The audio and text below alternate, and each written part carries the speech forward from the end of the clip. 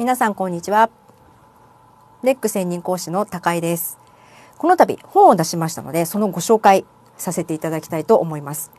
はい、ゼロからスタート、高井薫の簿記一冊目の教科書。はい、こちらになります。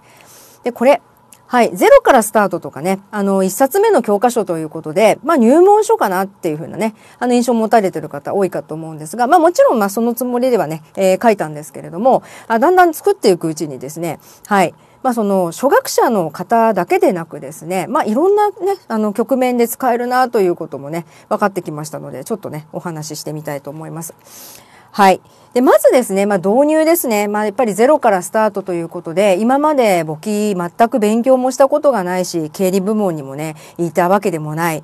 はい。でもなんか役に立ちそうな勉強なんでね、やってみようかなって思ってる方の、まあまずは、あの、背中を押すためのね、えー、使い方というのができるかと思います。はい。まあ、これから学習していく簿記というものが全体的にどういう感じでね、えー、の勉強であって、どういうことを学習していくのかっていうのがですね、まあ、これを読むとですね、ざっとわかります。はい。で、あの、見開き1項目なんですよね。でですね、あの図も必ずいっぱいあのついてますので、で、カラーなんですね。なので、まあ、あの、あまり気兼ねなくですね、はい。学習を、えー、全体ねこれから皆さんが学習していく簿記の内容っていうのをねあの見渡すことができるかなと思います。それからですね、あの、初学者に限らず、一通りこの簿記3級の学習が終わった方、はい。こんな方にもね、役立てる内容になっております。はい。一通り学習をしてきました。で、テキストをね、あの、厚母体テキストをひたすらこうね、えー、インプットしていきまして、今まで学習してきました3級の学習内容、各論点ね、たくさんありますよね。これをですね、この本で確認をしてみてください。はい。これね、目次結構ね、力を入れて作ったんですけれども、目次でそこで学習をする論点の項目が全部書いてあります。ですので、復習する際にですね、一通りインプットが終わりましたらば、この目次見ていただきまして、その項目見てね、あ、どういうことを学習したかなっていうのがね、あの自分で思い出せるようにしていただくっていうね、使い方ができるかなと思います。はい。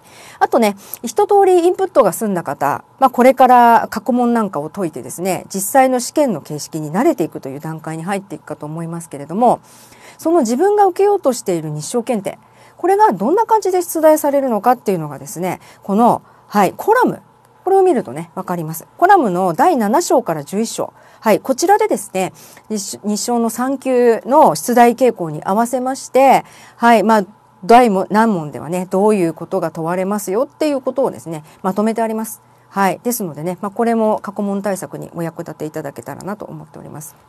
さらにですね、はい。もうその段階も過ぎまして、いよいよもうね、え、あとは試験を受けるだけっていう方。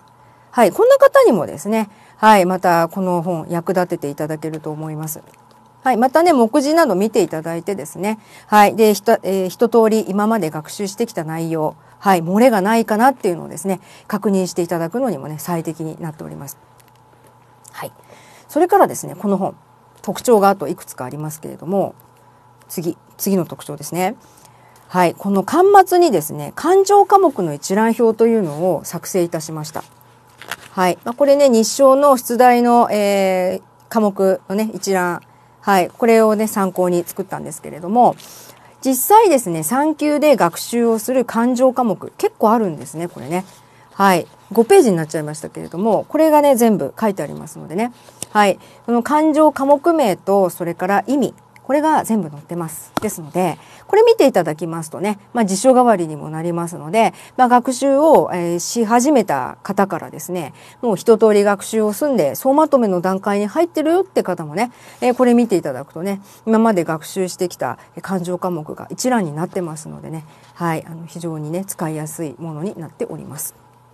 はい。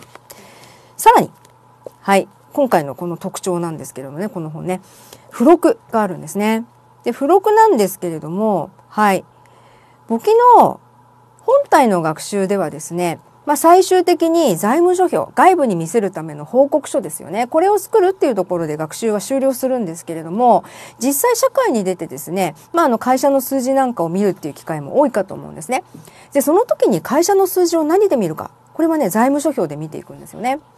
で皆さんは簿記の学習ではですね財務諸表を作るまでっていうところの勉強しかしてないんですけれども、まあ、実際にその出来上がった財務諸表のどういうところを見ると会社のどういうことが分かってくるのかっていうのをですねこちら付表はい、付録として財務諸表を読んでみようという項目にまとめてみました。いわゆるですね財務分析の入り口となる、え項目が書かれてます。はい、まあ、本当入り口なんであまりあの深くはね書いてないですけれどもざっとえこういうところのね数字を見るとこの会社のこういう状況がわかるっていうことをねあの簡単にまとめてあります図表もねいっぱいつけてますのではいあの非常にね使い勝手のいいものに仕上がってると思います。というわけでねえ皆さんこのはい、ゼロからスタート、えー、高井薫の簿記1冊目の教科書、はい、書店でね、えー、見かけましたらよろしくお願いいたします。ありがとうございました。